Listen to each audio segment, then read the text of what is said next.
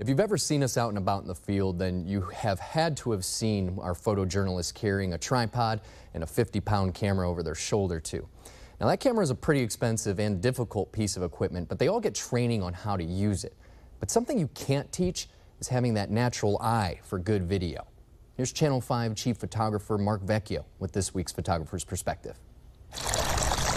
To be a Channel 5 news photographer, you need to have an eye for photography. There's no ifs, ands, or buts about that.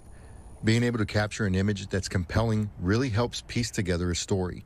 It's my job to help the reporter I'm assigned to for the day gather the visual elements needed to help tell the story in a unique and creative way.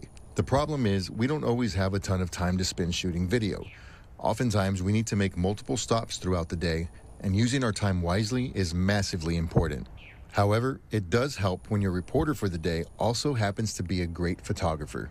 Christian Von Preysing is no stranger to spending time behind the lens. Working with him means we now have two sets of eyes and two cameras.